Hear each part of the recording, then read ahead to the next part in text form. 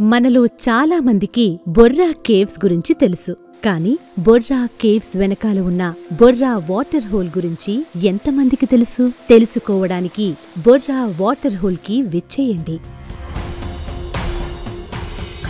అరణ్యం నడిబొడ్డున ఉన్న ఈ ప్రదేశంలో గోస్తానీ నది సహజంగా ఏర్పడిన రంధ్రంలో ప్రవహించడం ద్వారా ఈ ప్రదేశం చూడడానికి చాలా అద్భుతంగా ఉంటుంది.